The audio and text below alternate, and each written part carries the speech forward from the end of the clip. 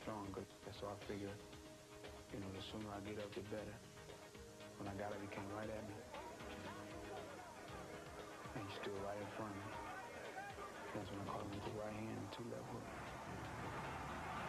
Because like he said, he's been eating, sleep, and dreaming. You know, Gerald McClellan, uh, and he's gonna come get his belt back. Only thing I can do, you know, by saying things like that, believe it or not, it scares me. So it makes me stay on my P's and Q's and, and be ready for the unexpected.